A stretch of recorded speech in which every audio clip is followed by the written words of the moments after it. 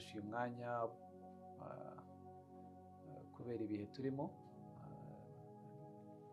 nifatanye n'abanyarwanda muri rusange barokotse jenoside yakorewe abatutsi by'umwihariko gukomera no gukomeza nyine kwibuka twiyubaka nk'uko insanganyamatsiko ibidusaba. Murangwa ni muntu ki murangwa? Nk'uko wabivuze utangira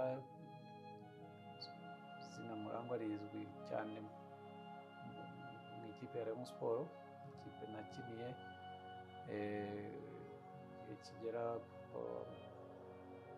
magana cyenda mirongo inani n'umunani kugeza muri mirongo cyenda na gatandatu. Ariko ni n'ikipe nanakunze kuva nkiri mutoya kubera ko muzehe wanjye ni umufana wa Rayon Sport nakuriye muri Rayon Sport rero iwacu mu rugo nza no kugira amahirwe yo kuyibamo mbere y'uko nanayikinira natangiye kuba hafi ya Rayon Sport rwose ndi umwana w'imyaka nka cumi n'ibiri n'itatu. Aho yitorezaga hari i Nyamirambo kwa Kadafi iwacu twari dutuye i Nyamirambo. Nkajya mbasha kujya kureba imyitozo yayo. Nuko naje kugenda ngeraho kuyikinira yego niko byagenze umva najyaga njya kureba imyitozo ya ikipe hariya kwa Kadafi Nyamirambo. Nanjye rwose wabaga uhari mu kigero cyanjye abandi babaga ari abantu bakuru.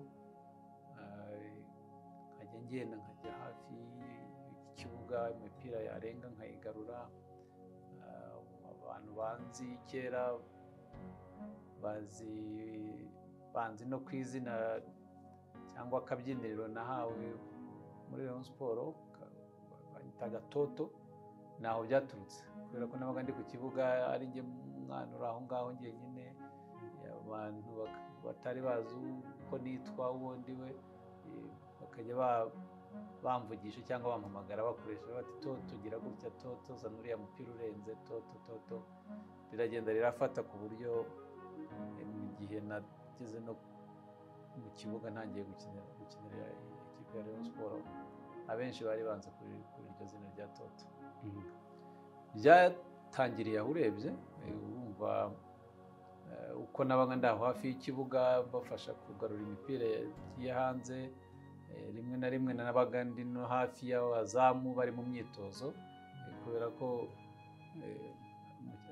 burya imyitozo y'ikipe ikorwa akenshi abanyezamu bakora imyitozo yihariye ku ruhande. Byatumaga rero aba ari bo mba hafi kurusha abakinnyi bandi basanzwe. Ni naho natangiye gukunda ibijyanye no gukina mu izamu. Rimwe na rimwe mu banyezamu yaba yatinze cyangwa ataje uhari akambwira ngo dufatanye mufashe nk'umuntu agira imipira rimwe na rimwe nanjye bakatangira bakanyereka uko babigenza. Mu gihe gitoya bitangira kugaragara ko nshobora kuba nari mfite ubwo bumenyi bwo gukina mu izamu.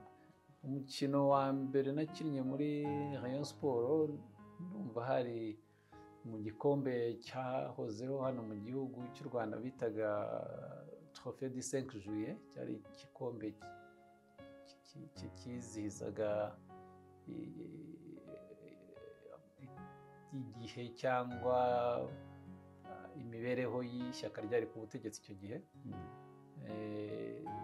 Ndumva twari twakinnye n'ikipe y'i Rwamagana hari nko muri mirongo inani n'umunani mirongo inani mu mpera za mirongo inani n'umunani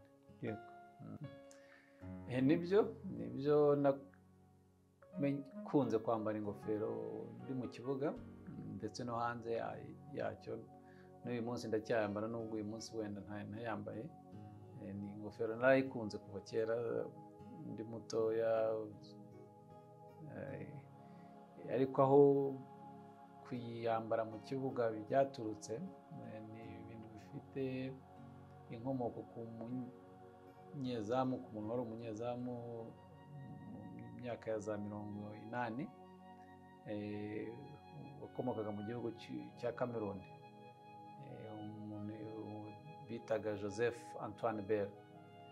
Joseph antoine bell yari umunyezamu ukomoka mu gihugu cya cameroon wakinaga mu bufaransa yakinnye mu makipe nka saint etienne bordeaux n'ayandi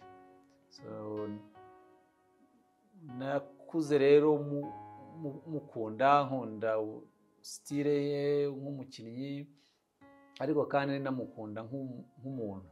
Yari afite karagiteri napresiyaga yari umuntu wari uzi kurengera inyungu z'ikiremwamuntu. Cyane cyane ibintu bijyanye n'ibibazo by'ivangura ryabaga cyane mu bihugu by'i burayi mu makipe. Nakundaga rero kumva ibiganiro bye kuri radiyo mpuzamahanga z'abafaransa. Nkumva ukuntu ari umuntu utaripfana ari umuntu uhora aharanira uburenganzira bw'abantu by'umwihariko abanyafurika. Bituma mukunda. Yakundaga yamubonye inshuro zitarenze zirenze imwe yambaye ingofero ari mu izamu. Kubera ukuntu kumukunda nanjye ntangira kujya mwigana. Gusa wenda icyo navuga ni uko we ntabwo yayambaraga kenshi nk'uko nayambaraga. Njye nayambaye nyigumishamo buri gihe nkaba nyambaye. Ariko we nyuma icyo naje gusobanukirwa ni uko yayambaraga kubera ko shampiyona yo mu bufaransa na n'ubu. Kenshi mace ziba nijoro kubera ko yashaka ko amatara yo ku kibuga atamutera ikibazo ku maso niyo mpamvu yayambaraga ngo ayikingeho. Ngewe ngira ngo rero ni sitire ntabwo narenze ikibazo cyayo. Hano nubwo nyuma gato njya gusoza natwe twari dusigaye dufite amatara ku kibuga ariko mace zacu zabaga ku manywa n'ahantu habaga.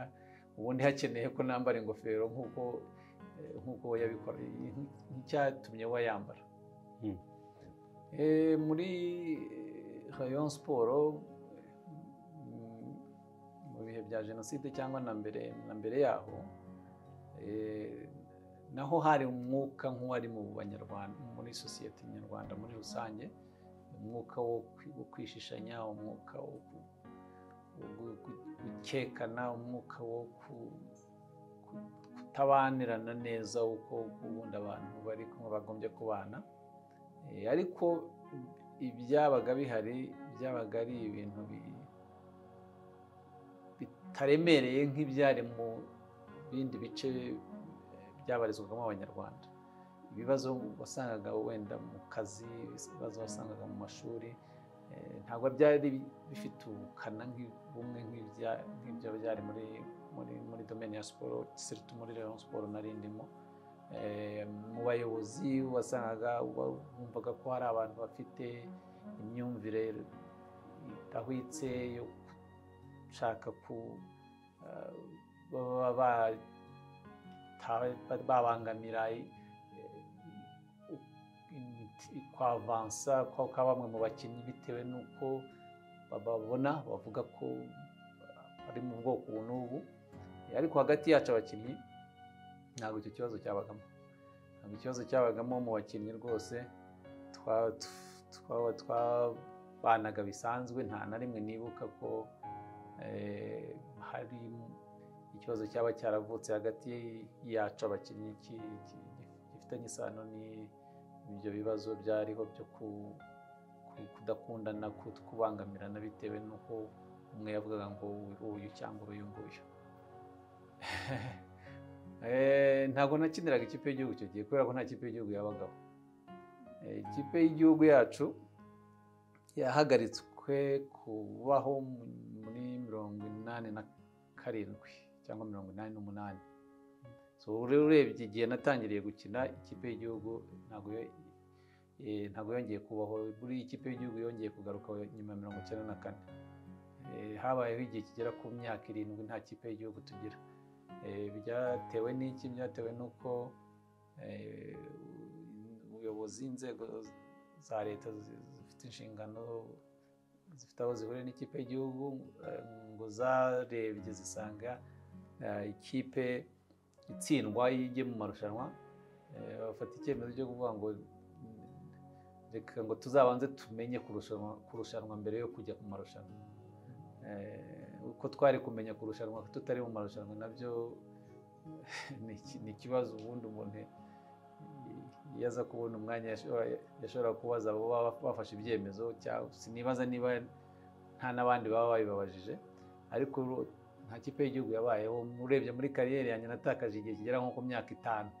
Nibura urumva ikipe niba yaratangiye muri mirongo inani na karindwi yarahagaritswe muri mirongo inani na karindwi mirongo inani n'umunani nkatangira gukina muri mirongo inani n'icyenda nibura nko muri mirongo cyenda na rimwe nagombye kuba naramaze kugera narimaze kugera muri ekipe nasiyonari ariko nta kipe nasiyonari nayigiyemo nyuma ya jenoside yakorewe abatutsi muri mirongo icyenda na kane.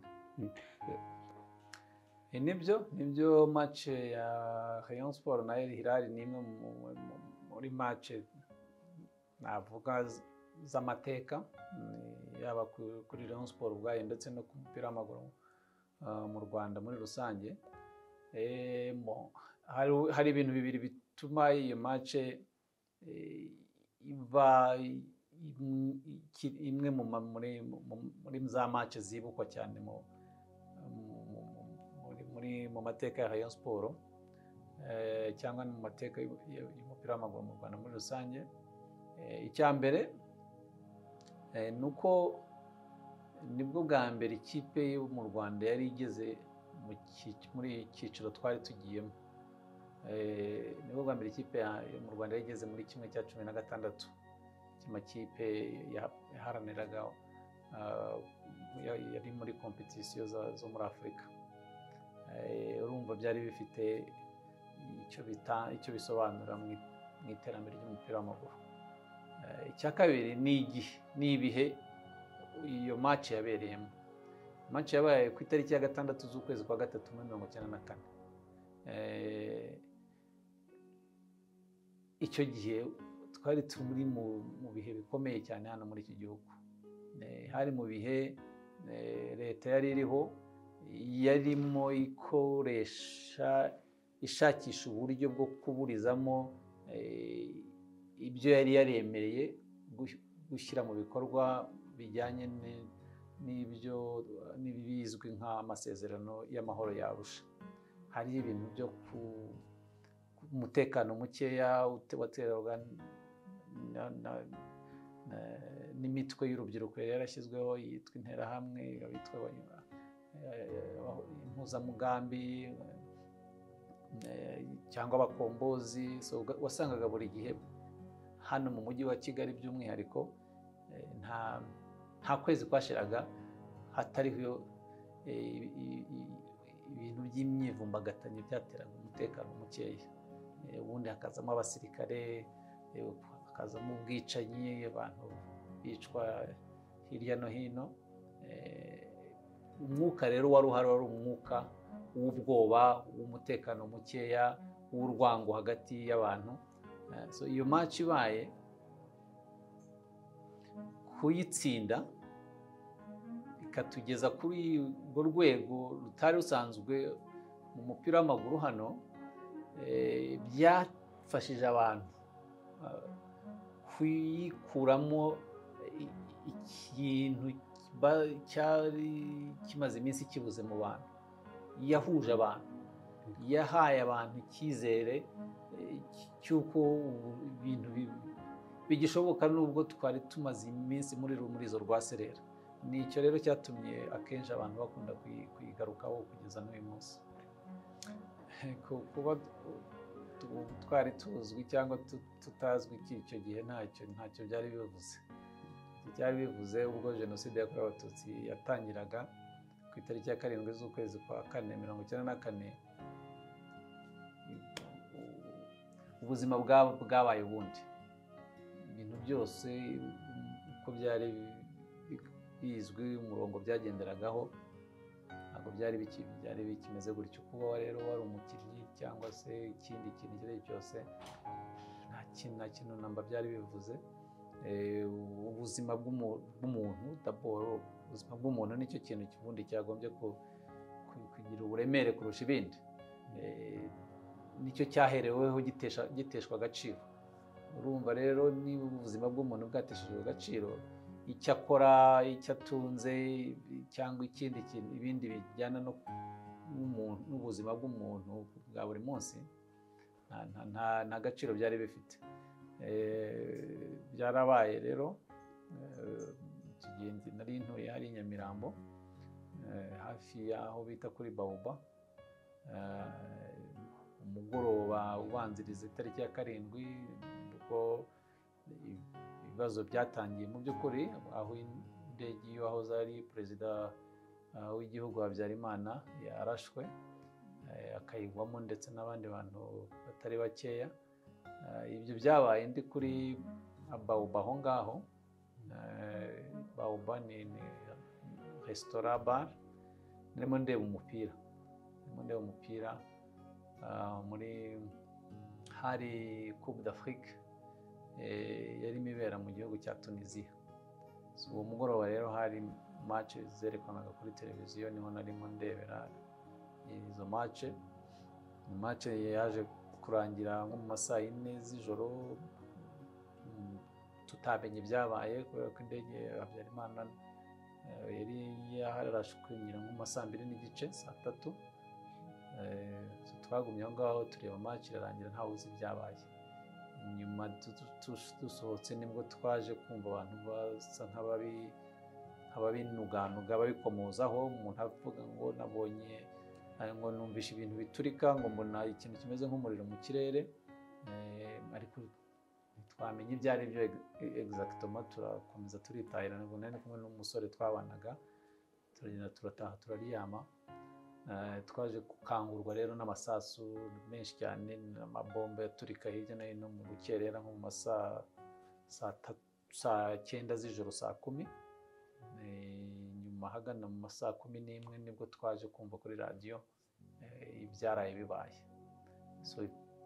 Ubwo bwarakeye ibintu bikomeza kumera nabi bitangira kubuza abantu kuva mu mago yabo utangira kumva inkuru zivuga ko hari abantu bishwe hirya no hino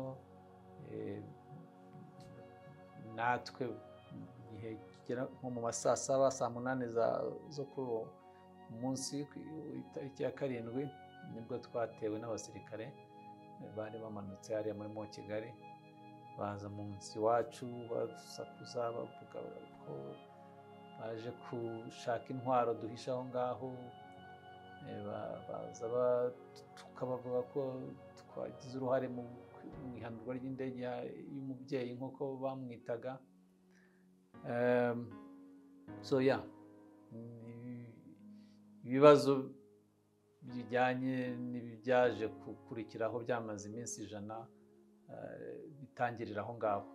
Ariko mu by'ukuri icyo gihe twabashije gukira icyo gitero cy'abasirikare bari baje aho ngaho bitewe n'uko umwe muri bo yaje kumenya akamenya ko ndi murangwa wo muri Rayon siporo bitewe n'amafoto yaje kubona muri alubumu mu bintu barimo batera hejuru bavuga ko ngo barimo bashaka intwaro harimo n'iyi alubumu yaje kugaragaramo amafoto umwe mu basirikare arayareba aramenya amenya ati ese ni buri toto ntindiwe hanyuma ibyo biba impamvu y'uko bagiye ntacyo badutwaye nyuma yaho naje kuhava bukeye bwaho umunsi wakurikiyeho ku itariki ya munani z'ukwa kane navuye aho ngaho nari nsanzwe ncumbitse njya mu rugo rw'abakinnyi twakinanaga bari batuye hafi aho batari mu bahigwaga.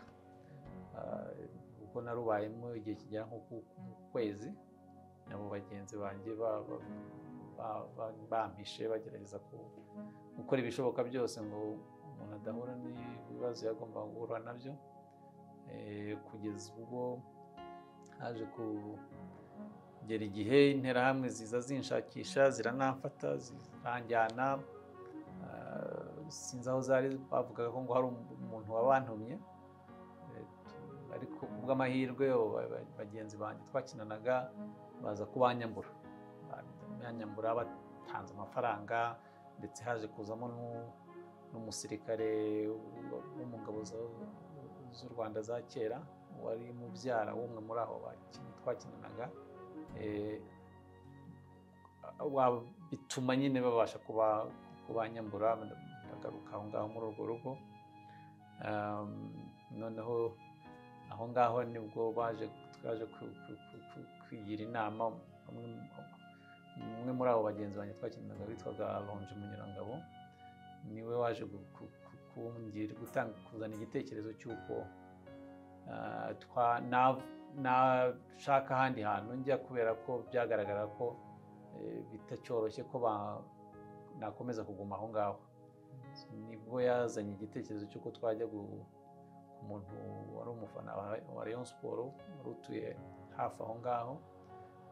Twari tunabizi ko yari umwe mu bayobozi b'interahamwe ntabwo byari byoroshye kuvuga ko wajya mu rugo rw'interahamwe kandi bizi neza ko interahamwe ari zo zirimo zikora ubwo bwicanyi. Ariko nta na shuwa wari ufite.